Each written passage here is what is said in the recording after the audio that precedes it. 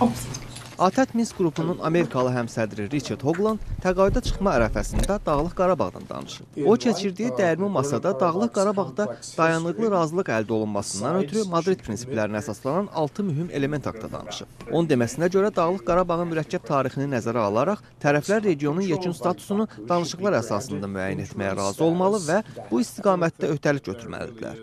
Dağlıq Qarabağ ətrafındakı işğal olunmuş ərazilər Azərbaycanın nəzarətinə qayıtmalıdır. Onun sözlərinə görə Azərbaycan dövlətinin suverenliyinə və ərazi bütövlüyünə hörmət edilmədən razılıq ola bilməz.